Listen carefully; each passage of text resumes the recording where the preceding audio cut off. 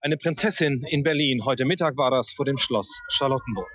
Und schlafen wird Diana heute Nacht hier in Gato im Sitz des britischen Stadtkommandanten der Villa Lem. Wir hätten Ihnen gerne ein bisschen mehr davon gezeigt, aber wir durften nicht.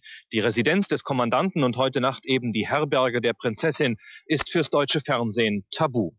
Aber wir zeigen Ihnen, wie Prinzessin Diana ankam. Auf dem Flugplatz Gato in einem Flugzeug ihrer Schwiegermutter, der Königin von England.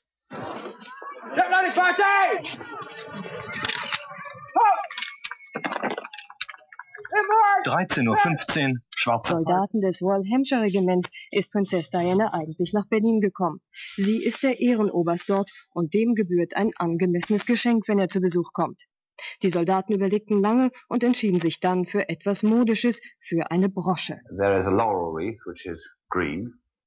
Uh, da ist ein grüner Lorbeerkranz, eine rote Rose aus Rubinen und in der Mitte ein Tiger aus Gold und dann oben auch noch eine Krone mit Diamanten. And that is in gold. And there are also some diamonds which are incorporated in the crown on the top of the badge. Und so sieht sie aus. Bei einem Juwelier in London hat sie der Regimentskommandant bestellt. Der Preis bleibt natürlich geheim, jeder Soldat konnte aber einen kleinen Obolus dazugeben von maximal 5 Mark. Und jeder von ihnen tat das. Und jetzt sind sie alle ganz stolz auf das schicke Geschenk. Okay. I hope Princess of Wales likes it as much as we do. She's extremely proud that she's coming out to visit us and that she's chosen us as her only Ja, die Prinzessin mag die Brosche so sehr wie wir. Wir sind so stolz, dass sie uns besucht und nur unserem Regiment als Ehrenoberst vorsteht.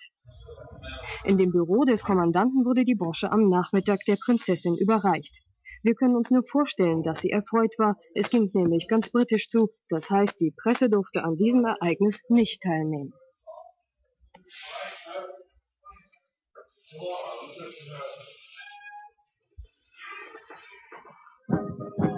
Aber dann auf dem Kasernenhof, da darf Diana endlich vor ihren 650 Soldaten stehen und die Parade abnehmen.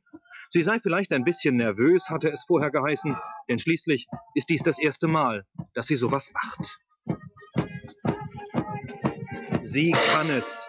Nicht, dass sie jeden Einzelnen begrüßt, aber die Brosche, die kriegen nun die Soldaten an ihrem Ehrenoberst zu sehen. Schade, dass die Musik so laut ist. Wir haben auch kein Wort verstanden.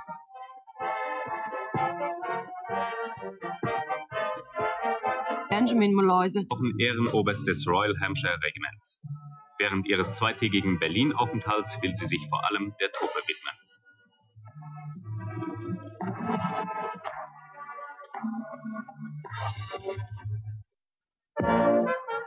Thank.